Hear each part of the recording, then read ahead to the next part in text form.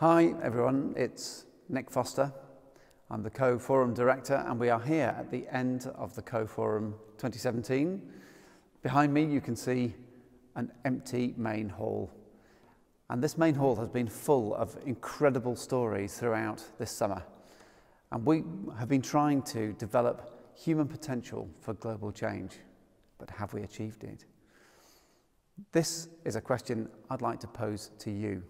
If you've been here this summer, maybe you could send us a little snapshot of what it is that you've experienced, maybe something that's happened afterwards, uh, the kind of uh, decisions that you've made to, to take things forward a bit and to create change in your own environment.